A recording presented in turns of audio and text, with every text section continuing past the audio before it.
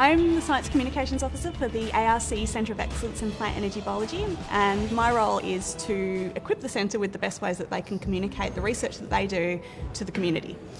That means communicating cellular, molecular, genetic science, which has typically been quite tricky. It's a hard place to, to explain things to people, and so virtual reality is now offering this opportunity to transport people inside of a cell. So, what we've built is the virtual plant cell, and we use this as a communication tool to take out to the community and transport audiences into the inside of a cell where they can actually explore and learn all about the research that our scientists do.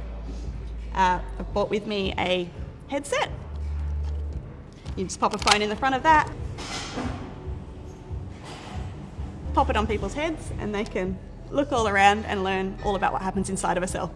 I am a big advocate for a more scientifically literate community. I think it's great if the, the community knows and understands the science that we do, and I really think that's on us to actually, as scientists, science communicators, to explain science to people in a way that they can actually understand. And what better forum than in a pub over a pint?